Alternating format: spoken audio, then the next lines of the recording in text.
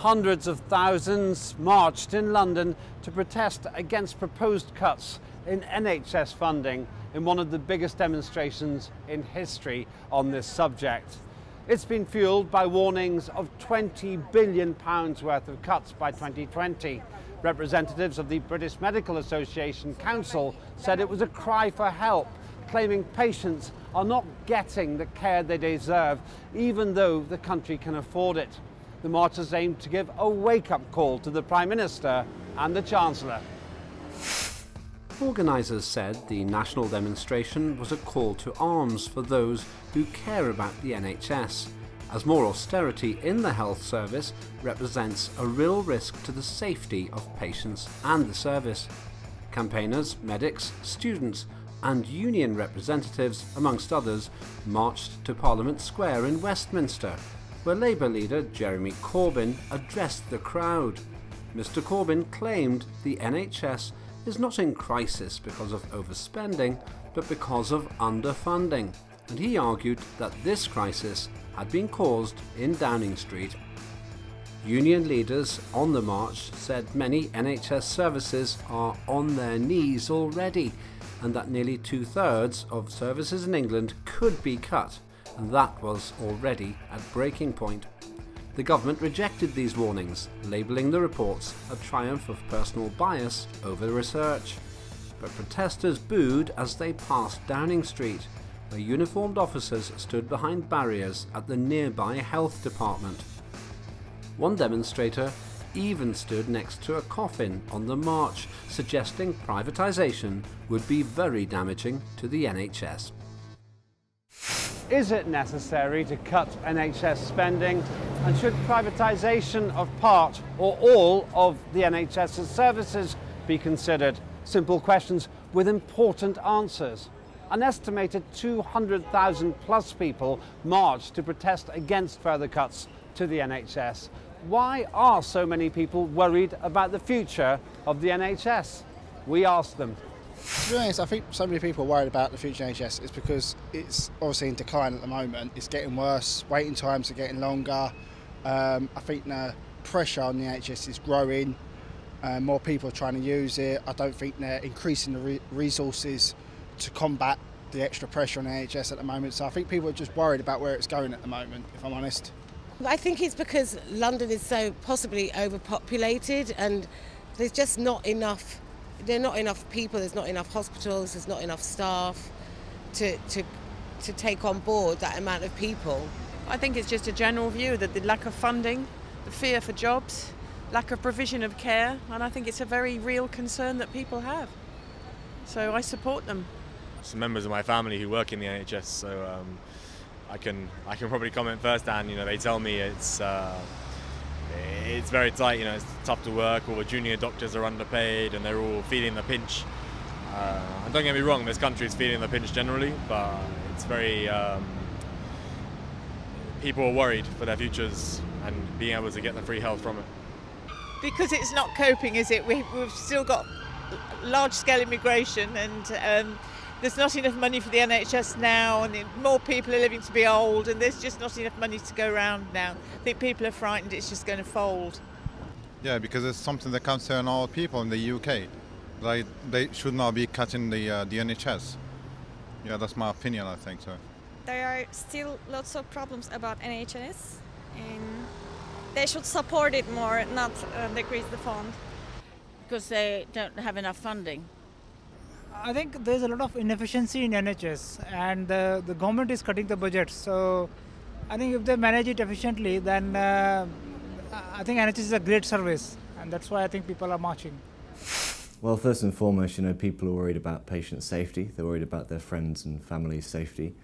And they're worried because the NHS is currently being, um, well, it's on its last legs. It's being cut to the bone instead of being given the funding that it not only deserves, but needs to provide good quality healthcare to the people of Britain. Um, doctors know this, patients know this, nurses know this as well. The, the kind of day-to-day pressure which the NHS is facing is becoming too much to handle. My, uh, my local hospital, Queen's Medical Centre in Nottingham, was um, on black alert over winter, as were many, many other hospitals. And you would think that something like this would um, you know, make Theresa May acknowledge the reality here that she needs to halt this kind of mindless austerity that is damaging our NHS and by implication killing tens of thousands of people as well. I think there's a growing awareness there's a problem with the NHS. There are continuous negative headlines about how the service is suffering. There's also more information available via social media.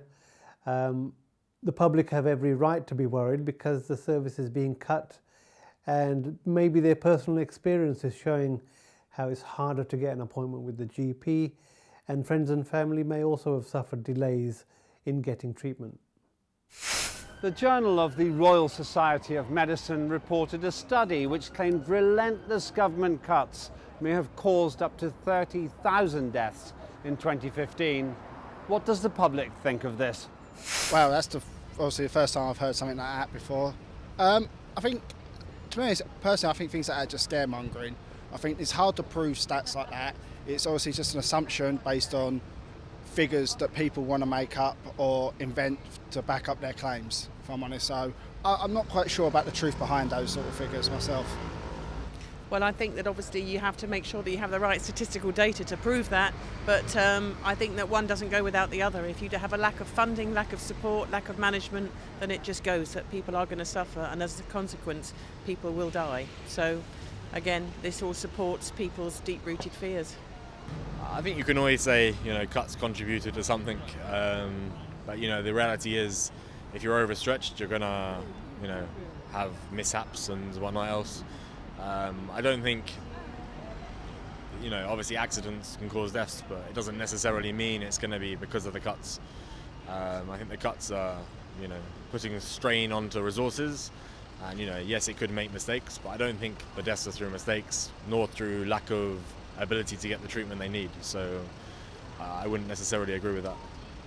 30,000 deaths because of lack of care, and I suppose the, the um, weekend deaths have been commented on, haven't they? That if you go into hospital at the weekend, there are no doctors there and people die over the weekend.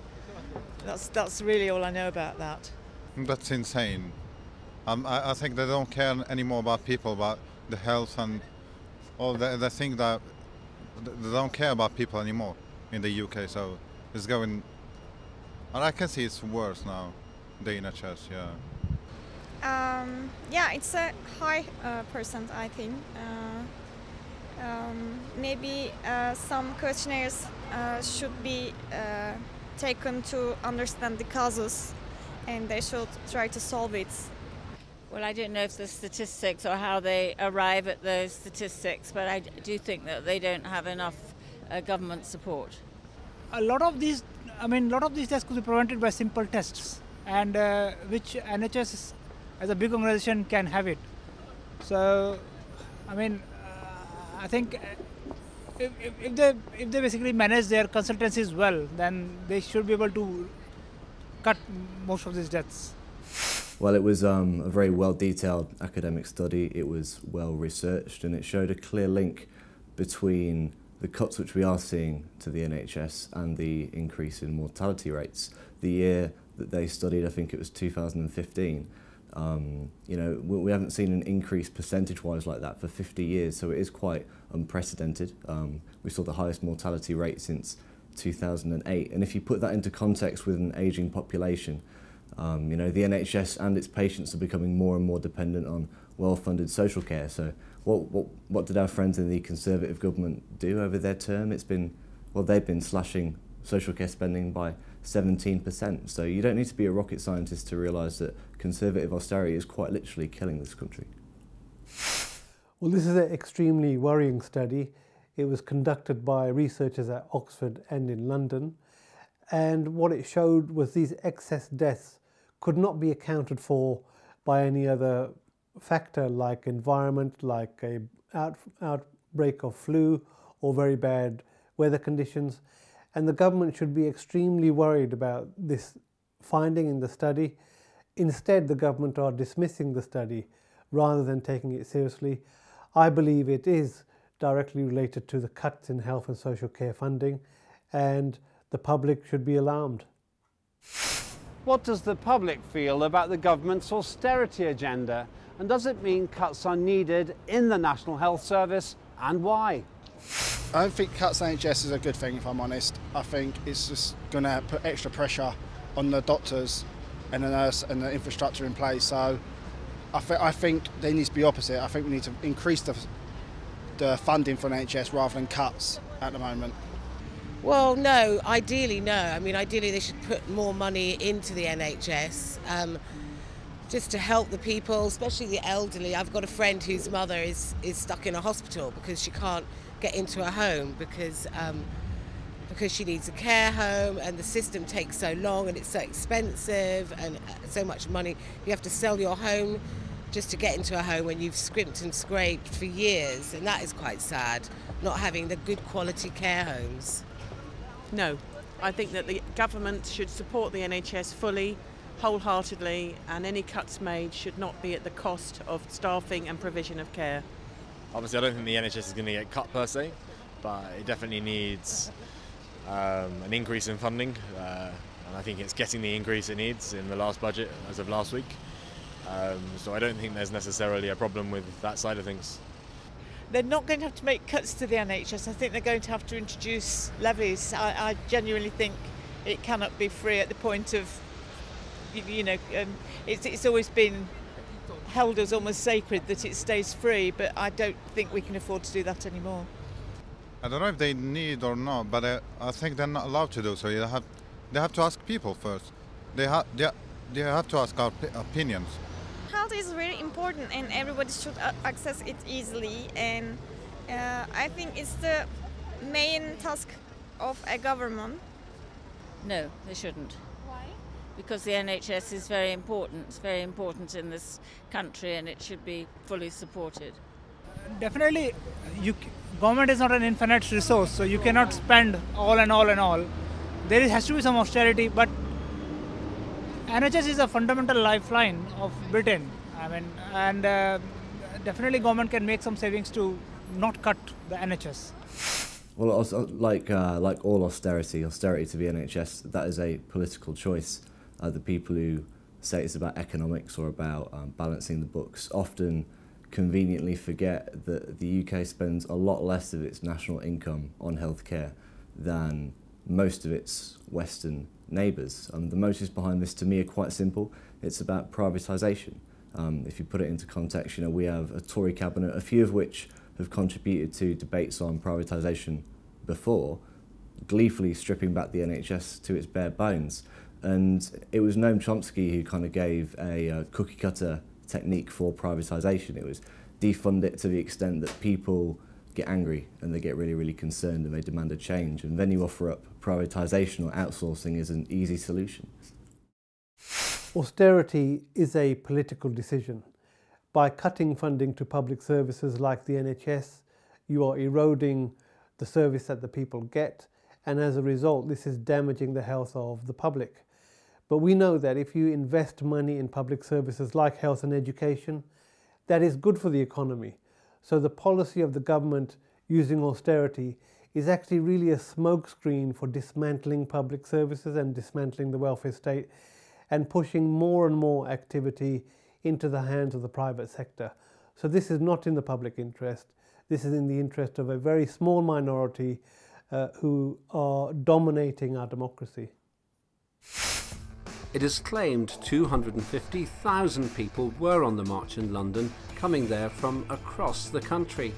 At the same time, researchers said relentless cuts could have contributed to 30,000 deaths in 2015.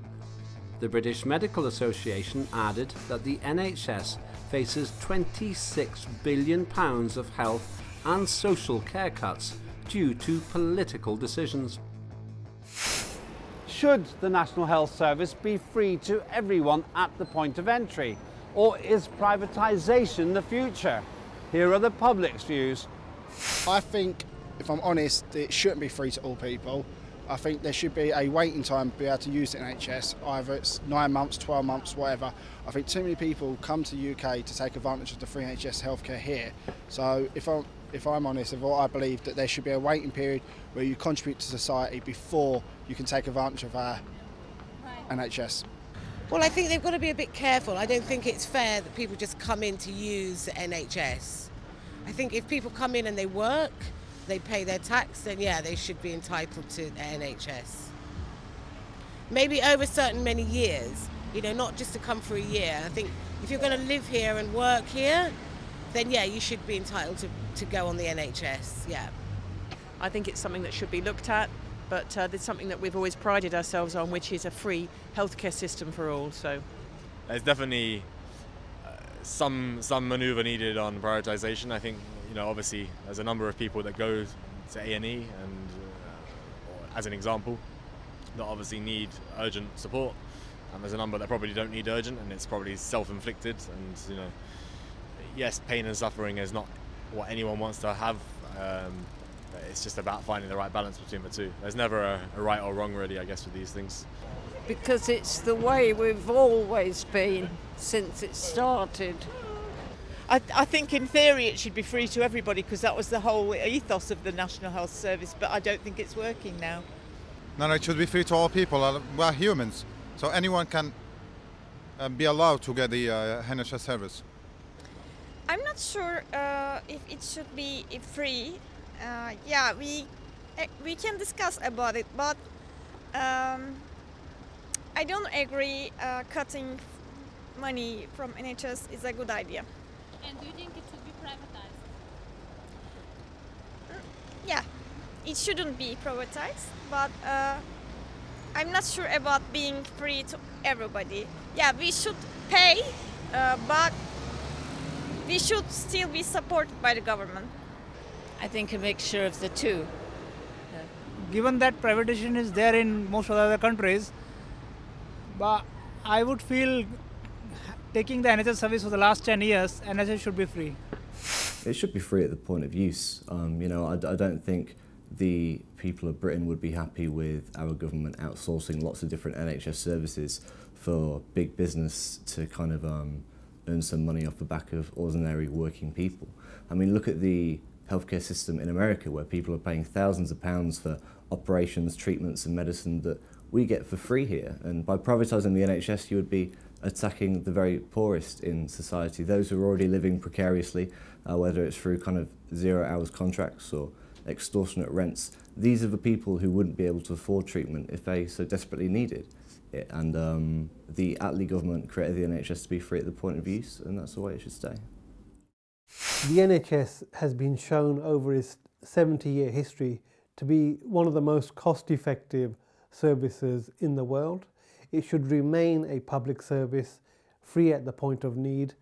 Privatisation is a disaster for the public. It will be more expensive, more complicated, and waste a lot more money in bureaucracy and management, diverting resource away from delivering care. And the privatised system is also endemically fraudulent it introduces a conflict of interest between the doctor and the patient. No longer will he be putting the patient's interest first. There will be other factors such as working for the private provider and also enabling profit to be created. So this is the wrong direction. We need to return to a national health service which is fully, fully nationalised. The British Red Cross said the National Health Service faces a humanitarian crisis from underfunding and rising demand. Why does the government not give adequate funding to the National Health Service? I think they're putting all the money they can in there and I think they're looking for quick fix solutions by underfunding certain aspects in NHS, whereas as a whole they should look at the root problem, which is just too many people using NHS, if I'm honest. It's not a funding issue, it's just cutting the pressure that is people being wiser when they should use NHS, A&E, situations like that. Maybe uh, they're putting too much money in, into other things, or maybe there's not enough money. Maybe they should just print some more money and put it into the NHS because I do think it's uh, we're really fortunate to have that.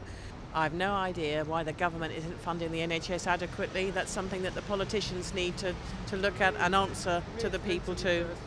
But certainly people pay enough taxes to support it, and uh, I think it's a very great shame that there is so much pressure and so much uh, tension. So I feel for people who work for the NHS particularly.